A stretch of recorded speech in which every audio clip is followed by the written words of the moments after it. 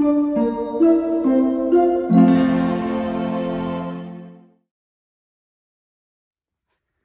Washington DECA. This is Josh Wolters, your previous Area 4 president. Hope everyone's been doing well. Uh, I'm here to give three tips on how to master the BMOR. So I've actually been in DECA for three years. I just finished my third year.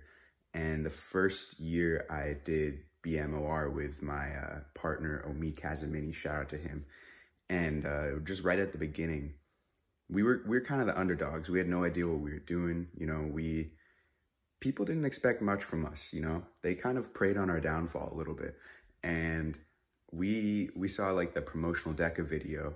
And we saw them going up on there with the stage with the glass, and me and Omid looked each other in the eyes and we said, "We're gonna get that glass."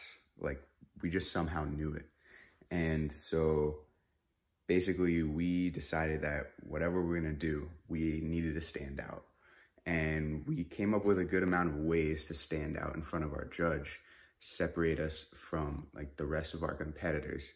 And so here are the three ways. So the first way is when you're coming up with an idea, uh, make sure you don't choose a company based on just whatever company you like to shop at or like maybe one of your parents works at that company.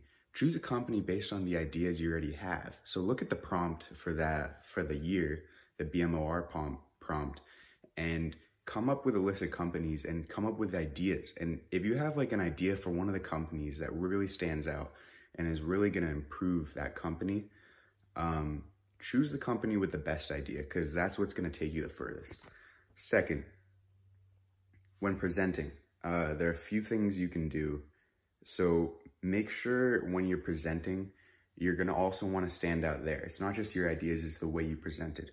So if you can come up with some really cool visual or some really cool prop and you can just take it the extra mile, right? So for example, we, uh, we made a store layout for our, um, for our store and we didn't just, you know, say, oh yeah, we're to change the store layout. We made a 3D store layout and brought it into the judge and every time the judge was wowed. So, you know, go the extra mile with trying to convey your idea, whether that's like some online simulation or some 3D prop or a fake, uh, a mock-up website, a mock-up app, whatever you can do, um, take it the extra mile. And then third, when presenting, uh, you know, these judges, they're going to see a lot of presentations that day. So you're going to want to make sure that they remember your vibe, you know, your energy. So like me and my partner, we always started with a story. We had a funny story about how we kind of uh, came up with our idea and it always made the judge laugh. And uh, we smile the whole time. Make sure that if you're not smiling, you're not positive, they're uh, they're gonna they're not gonna leave. They're not gonna finish, you know, judging you with a positive vibe. So maintain that positivity and just find any way you can to stand out. Uh, me and my partner Omid, we actually ended up going all the way to nationals and uh, somehow getting glass. We still Still don't know how to this day, but maybe these ideas will help. Uh, thank you for listening.